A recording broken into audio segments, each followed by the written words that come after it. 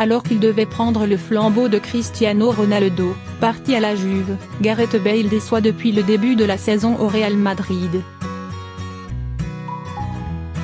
D'après AS, son attitude ne plairait pas non plus à ses dirigeants, qui n'excluraient pas de s'en séparer l'été prochain.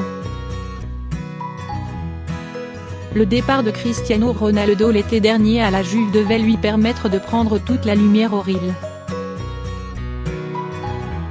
Mais Gareth Bale ne parvient toujours à répondre aux attentes placées en lui cette saison par ses dirigeants.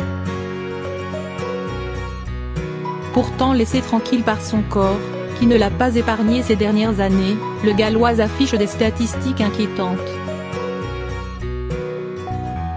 En championnat, son dernier but remonte au 1er septembre dernier, 4-1 contre le Ghané.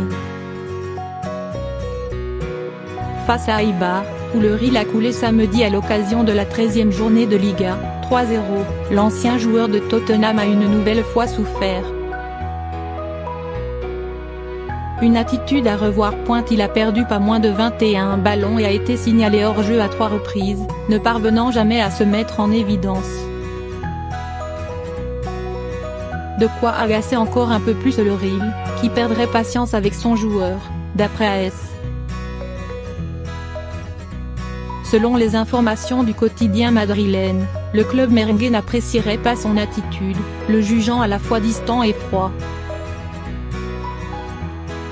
S'il n'améliore pas son rendement et son comportement dans les prochaines semaines, Ball pourrait se voir poussé vers la sortie lors du prochain mercato estival, lui qui est sous contrat jusqu'en 2022.